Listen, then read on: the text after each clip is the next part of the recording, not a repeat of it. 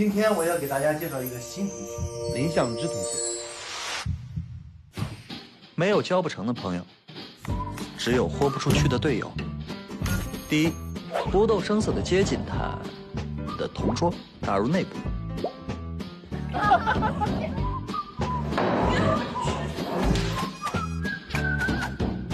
第二，适当打野很关键，经验亮相，拿捏了。他说强烈的印象能让人被记住，所以他打扮的很强烈。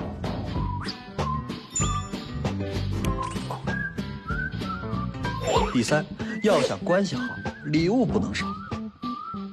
核桃仁，我亲手剥的，这都是补脑的。你是谁啊？我不认识你。这招太绝了，学学。